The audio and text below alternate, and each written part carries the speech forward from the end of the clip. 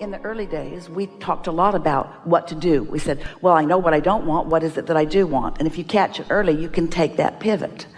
There are things that you can do. And so if we were standing in your physical shoes this would be our approach.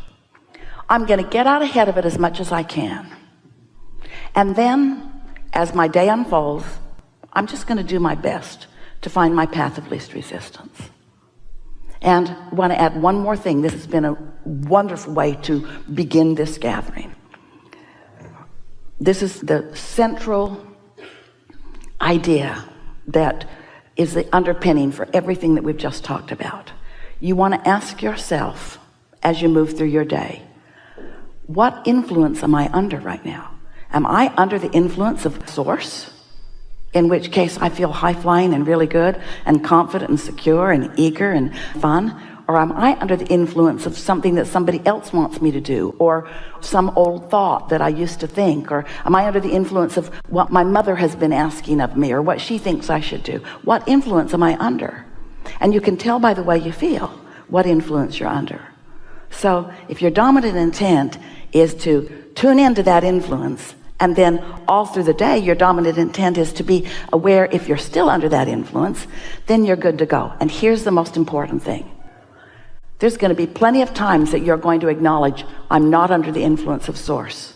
I'm under the influence of my employer or what somebody else thinks I should do or my girlfriend or my boyfriend or my kids or my parents. I'm under the influence of what society thinks about that because those thoughts do not stop on a dime. Those thoughts are still active. And so when you realize that you are under the influence of something other than source that's when you just say well that's perfectly logical.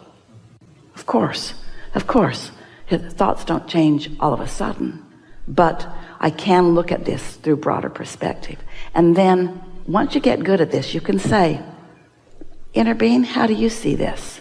And you'll get pretty good at tuning right into that. Because things that used to just knock you over because they felt so unjust will seem amusing to you because you're looking at the big picture.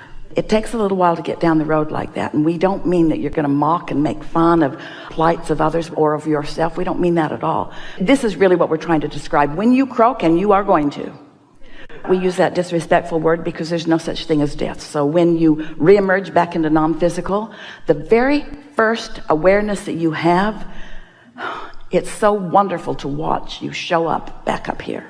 It's not up not over.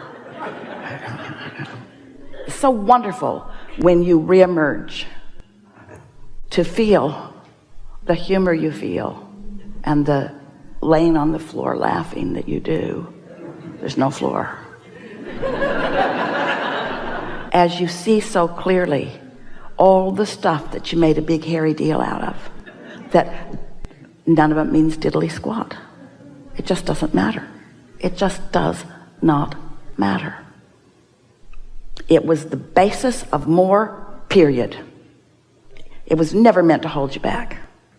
And that's what step five is. Step five is blessing the contrast and understanding its value. Step one is being buried by the contrast and letting it keep you from being under the influence of source. Step five is being under the influence of source and aware of contrast and loving the contrast. Step one is not being under the influence of source and struggling in the contrast. And that's where you started as you sat down.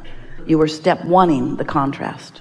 And almost everybody does that. When you find yourself defending rationalizing I didn't reach my goal because of this this this this this every time you're doing that it's a step one moment.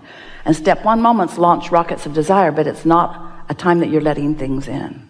So we're going to make one more statement and then you're done.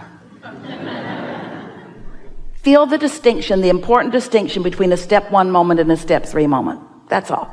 Because both are important to your experience.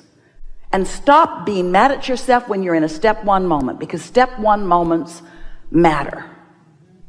Even when you predominantly hang around in step five moments you're still going to have step one moments because there's going to always be new contrast that's going to help you launch more rockets.